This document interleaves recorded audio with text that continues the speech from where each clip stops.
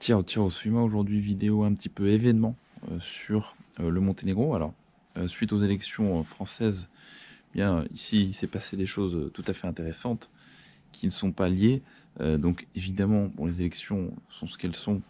On a bien compris que c'était foutu et qu'on allait avoir la même vie, voire empire, qui va se, se développer donc ces prochaines années en France. Donc bon, pour moi c'est pas une surprise puisque de toute façon les données de la France économique, démographique et euh, les données, euh, on va dire, on peut dire communistes, étaient telles que de toute façon, on, ne peut pas en sortir comme ça. Il faut vraiment un effondrement qui soit pas comme ça, un petit peu lent, etc. Mais il faut, que les gens peuvent plus bouffer, quoi.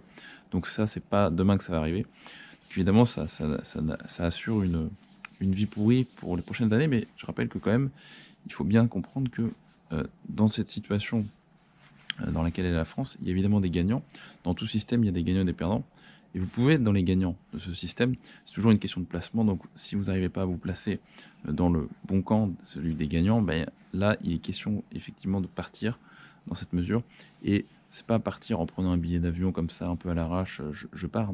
Il faut que vous mettiez déjà en, enfin, on va dire en place une stratégie de plan B, qui peut être une résidence secondaire, qui peut être une euh, déjà une offre euh, sur laquelle vous pouvez vous projeter pour euh, bah, vous installer quelque part, mais un truc sérieux, et, que, qui vous plaise. Donc c'est surtout ça. Il ne faut pas partir n'importe où si ça vous plaît pas et avoir une situation pire que celle que vous aviez. Donc il faut être responsable. moi, je pourrais vous dire, venez tous au Monténégro. Non, ne venez pas tous au Monténégro, puisque en fait, vous n'êtes peut-être pas fait pour ce pays. Ici, c'est voilà la Dolce Vita, mais la Dolce Vita, ça veut aussi dire que ben voilà, c'est pas l'organisation germanique qui peut peut-être plus convenir à, d'autres personnes. Donc euh, chacun voit midi à sa porte. Mais en tout cas, ici on profite de la vie euh, avant de travailler. Hein, c'est un peu la philosophie. Donc euh, voilà, c'est un peu la Corse ici. Hein, donc il faut bien comprendre. Ceux qui n'aiment pas la Corse, vous n'aimerez pas le Monténégro. Il est clair. il faut bien, bien le comprendre. Donc ce que je veux dire aujourd'hui, puisque les élections pour moi n'étaient pas un événement, hein, c'est absolument pas un événement. Euh, l'événement, c'est plutôt ce qui s'est passé au Monténégro récemment.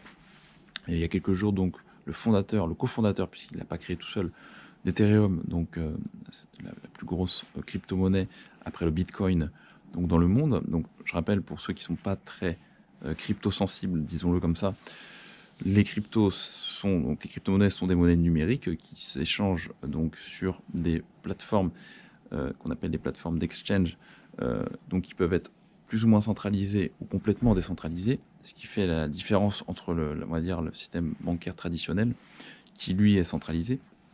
Et donc ces euh, monnaies euh, bah, sont amenées à remplacer des monnaies traditionnelles dans euh, différents produits ou services que vous pouvez consommer. Alors ça c'est pour voilà, les, les, règles générales. Je sais qu'il y en a pas mal d'entre vous évidemment qui connaissent très bien les cryptos, mais toute mon audience n'est pas crypto, euh, je dirais, sensible. Voilà. Euh, donc, le, une des plus grosses monnaies, l'Ethereum, euh, qui, a été créé par Vitalik Buterin. Vitalik Buterin est arrivé au Monténégro il y a quelques jours.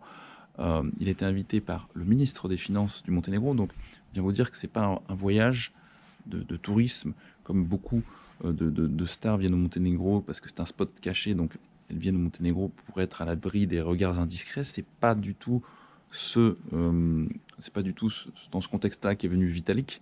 Il est venu vraiment pour parler euh, de choses sérieuses.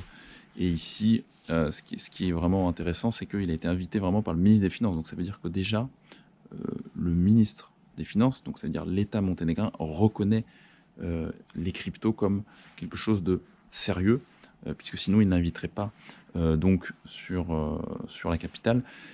Donc il y a ce premier point qu'il faut noter. Le deuxième point, c'est que euh, il y a eu des échanges donc très intéressants sur voilà le côté donc légal des cryptos, l'aspect légal et, et, le développement de l'industrie crypto. Alors pourquoi? Parce que le Monténégro aujourd'hui bah, a une part de dépendance importante au tourisme et donc le pays cherche à diversifier son économie et pour diversifier son économie, l'industrie de la crypto est un euh, des secteurs numéro un sur lequel le, ministre des Finances, lui, veut appuyer sur, euh, sur, euh, sur l'avenir, sur les années à venir. Et donc, je veux dire, c'est très, très, un signe très, très fort qu'on a eu là, puisque d'abord, comme je vous dis, c'est invitation quand même par l'État monténégrin de Vitalik Buterin. Donc, pour ceux qui savent qui c'est, évidemment, c'est, vous savez que c'est quelque chose de, pas anodin. Mais en plus de ça, il y a quelques jours, l'État du Monténégro vient d'octroyer la, la, citoyenneté monténégrine à Vitalik. C'est-à-dire qu'aujourd'hui, Vitalik Buterin est monténégrin, il est devenu monténégrin, il a reçu le passeport monténégrin.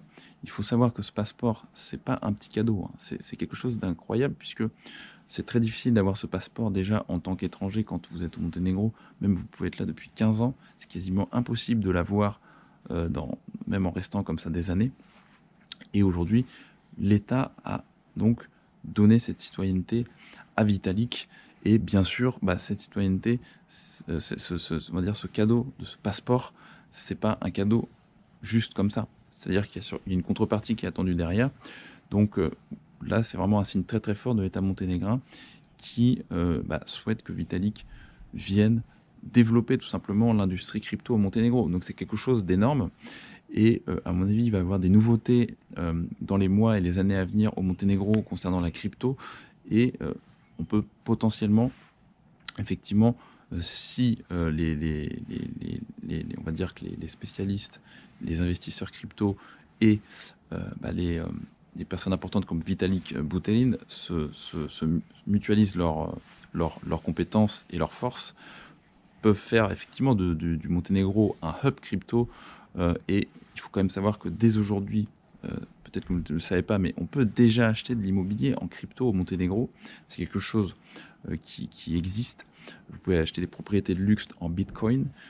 donc, c'est quelque chose que vous ne pouvez pas faire en France, que vous ne pouvez, pas faire en Allemagne. Donc, aujourd'hui, je suis content moi d'avoir investi avant tout ça, puisque ça bouge pas mal ici. Et le, Monténégro devient de plus en plus crypto-friendly. Et, dans cette mesure, on a vraiment euh, des, une valeur qui, peut monter sur euh, bah, différents secteurs, mais pas seulement l'immobilier, mais également même euh, donc sur, je parle de la valeur de l'économie monténégrine qui pourrait se transformer et se diversifier donc avec l'industrie crypto. Donc pour l'État monténégrin, l'objectif c'est quoi? C'est de développer des emplois dans l'industrie de la crypto et de pérenniser une autre économie, donc en plus donc de celle du tourisme. Donc voilà très très vraiment une très très bonne nouvelle qui, s'est produite donc euh, ces derniers jours. Donc je pense que bah, vous n'allez pas voir ça sur, sur tous les médias, mais en tout cas moi bah, je vous le partage parce que ça me semblait une nouvelle importante. Donc avec donc l'acquisition donc de la citoyenneté monténégrine de Vitalik Buterin, euh, le cofondateur d'Ethereum. Je vous laisse donc euh, ici sur l'Adriatique et puis je vous dis à très bientôt et puis je vous laisse sur, sur des petites images de la baie donc de Kotor. Ciao ciao